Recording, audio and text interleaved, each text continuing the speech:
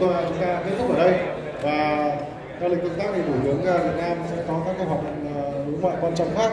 Thì ờ, thủ tướng chính phủ Việt Nam và thủ tướng cộng hòa séc sẽ rời hội trường. Và các đại biểu chúng ta còn lại chúng ta sẽ ăn trưa ở cái phòng xe Louis ở cùng tầng này và tiếp tục trao đổi.